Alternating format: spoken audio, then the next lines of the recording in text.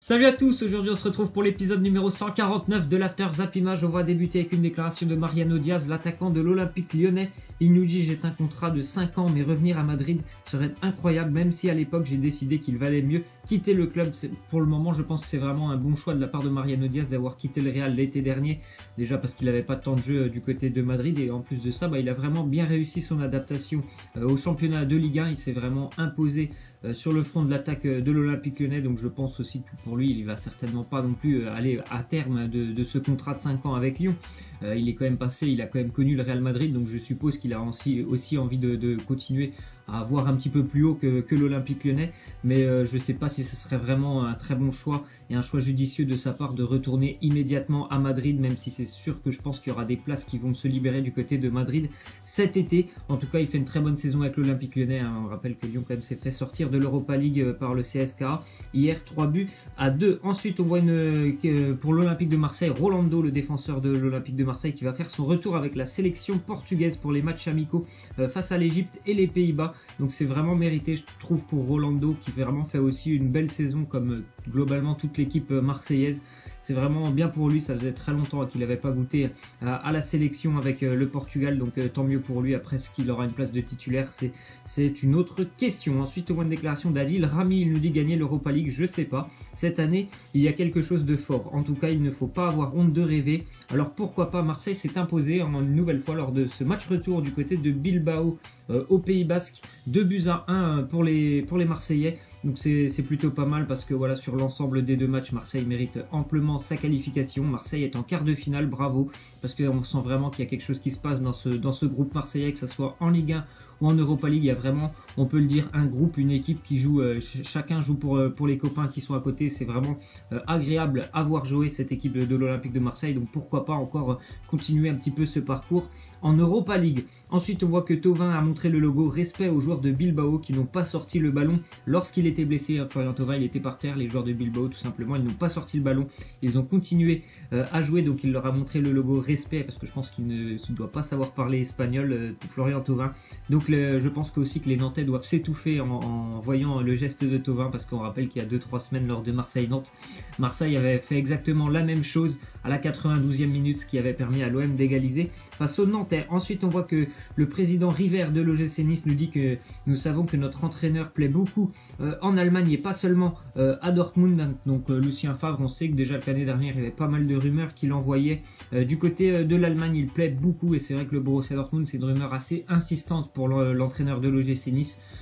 Depuis l'année dernière, voilà, on entend beaucoup de rumeurs qu'il envoie au Borussia Dortmund avec cette saison qui est pas très bonne quand même pour l'OGC Nice. Je pense que ça pourrait être vraiment la fin de l'histoire entre l'entraîneur suisse et euh, les Niçois. Ensuite, on voit que la commission de discipline de la Ligue de football professionnel a classé sans suite le dossier concernant Mario Balotelli qui se plaignait d'insultes racistes lors d'un déplacement à Dijon il y a maintenant presque deux mois. Donc le carton jaune qu'il avait reçu euh, a été euh, tout simplement retiré, mais par contre, voilà, il y a eu visiblement, d'après l'enquête, aucune insulte raciste de la part des supporters dijonnais. Ensuite, on voit que la Ligue de football professionnel inflige un huis clos total au stade Pierre-Mauroy de Lille jusqu'à nouvel ordre. Donc déjà le stade de ben voilà, il n'y aura pas de supporters jusqu'au 5 avril prochain parce que pour le moment il y a, l'instruction qui est en cours donc c'est vraiment euh, pas très bon hein, déjà pour le LOSC de ne pas avoir ses supporters dans un moment comme euh, celui qu'ils sont en train de vivre, un moment délicat, ils doivent aller chercher le maintien euh, en Ligue 1, ça me semble compliqué cette fin de, des saisons pour les Lillois. On voit d'ailleurs la saison très compliquée hein, du LOSC qui avait très bien démarré, donc avec une première victoire 3-0 lors de la première journée. Et depuis, c'est une dégringolade au classement. On le voit, ils n'ont pas, ils n'ont que cessé, ils n'ont pas arrêté, pardon, de, chuter au classement. Et voilà, ça fait maintenant presque 5 ou, 5 ou 6 mois qu'ils oscillent entre la, entre la 15e place et la 18 ou 19e place en Ligue 1. Ensuite, on voit que Andrés Iniesta serait tenté par un, par un départ. Euh, le milieu de terrain et le génial milieu de terrain du Barça qui a maintenant quand même 33 ans, il aura 34 ans dans, dans deux mois, André Iniesta. Il sait que voilà, il commence à devenir vieillissant, que c'est compliqué pour lui aussi euh, d'apporter maintenant du côté de Barcelone. C'est très rare lorsque Iniesta joue 90 minutes avec le Barça. En, général, on lui donne 60 minutes parce que c'est tout ce qu'il peut faire. Hein. Il, n'a plus vraiment la condition physique pour faire un match entier. Donc il y a plusieurs pistes qu'il envoie, notamment en Chine. Il y a quatre pistes sérieuses, hein, quatre euh, clubs chinois qui lui proposent vraiment des contrats alléchants. Bien sûr, des contrats alléchants, c'est que il y a un salaire mirobolant pour lui et qui, peuvent l'attendre euh, là-bas.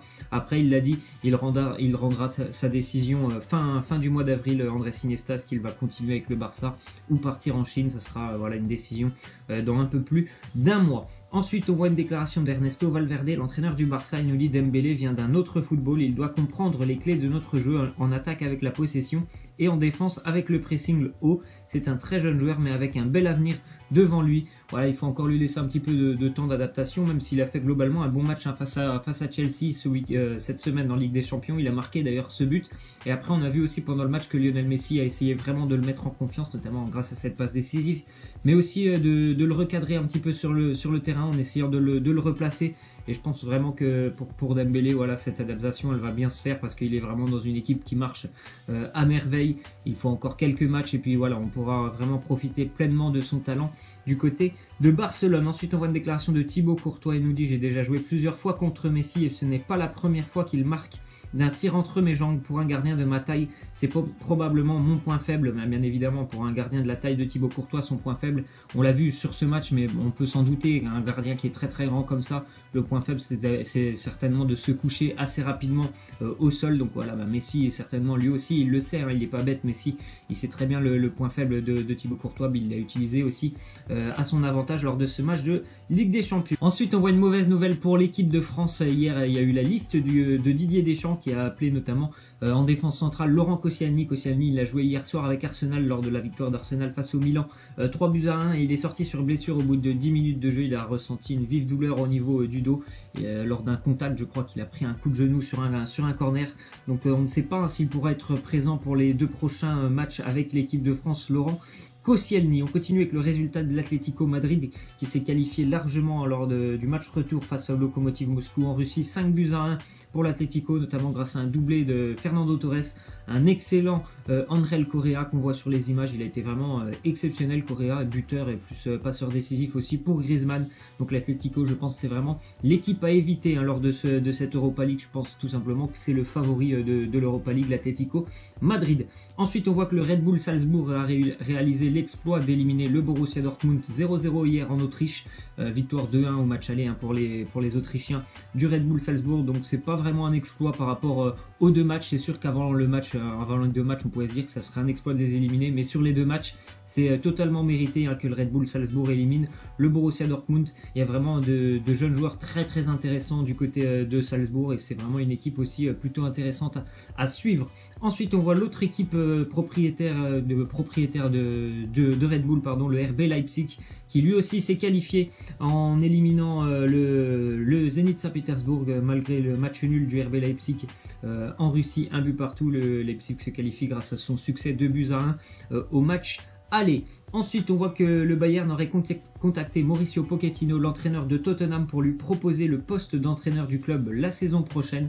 Donc le, Bayern pardon, va terminer la saison avec Jupp qui fait quand même un, intérim euh, exceptionnel, hein, étant donné les stats du Bayern depuis qu'il est arrivé. Ce qui est quand même assez incroyable, c'est qu'il n'a pas perdu un match, il me semble, donc c'est plutôt intéressant. Mais normalement, Heinkes, il ne continuera pas l'année prochaine avec le Bayern, donc pourquoi pas Pochettino, c'est vraiment un entraîneur qui est très très intelligent au niveau et qui sait vraiment optimiser les performances de son groupe. Ce que ce qu'il a fait avec, euh, avec Tottenham, c'est quand même euh, assez intéressant.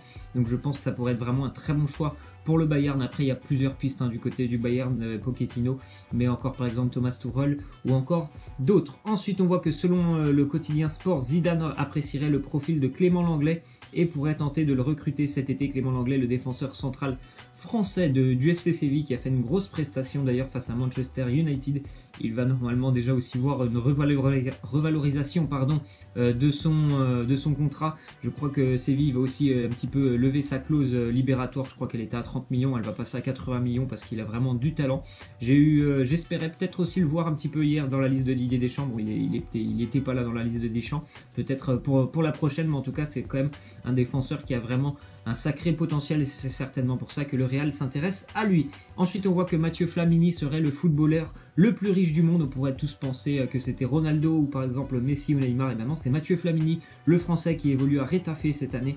Il détiendrait une fortune estimée à plusieurs milliards d'euros grâce à un investissement consenti il y a une dizaine, euh, dizaine d'années dans une, entreprise qui détient euh, la maîtrise euh, d'une des énergies qui remplacera potentiellement le pétrole dans les années prochaines. Donc il avait investi il y a 10 ans et il a eu le, le bon parce que voilà maintenant il est milliardaire grâce à son entreprise qui, voilà, qui va certainement aider pour les nouvelles énergies. Et on va terminer donc avec la question de fin à l'heure où je suis en train de tourner ce, cet After Zap Image. Je ne sais toujours pas euh, quelles sont les affiches des, quarts de finale de, de l'Europa League. Donc pour vous, quelles seraient les plus belles affiches euh, Je pense vraiment qu'un Atlético Arsenal, ça serait vraiment plutôt pas mal. Mais euh, j'espère aussi surtout que pour l'Olympique de Marseille, il y aura un tirage assez favorable. Je pense que c'est vraiment Atlético Arsenal, la, très belle affiche qu'il pourrait y avoir. Et aussi ne pas oublier, je pense, la Lazio Rome, qui serait quand même aussi un sérieux client. Voilà, c'est la fin de cet After Zap Image. J'espère que ça vous aura plu. N'hésitez pas à lâcher des likes, à vous abonner. Moi, je vous laisse et je vous dis à la prochaine. Ciao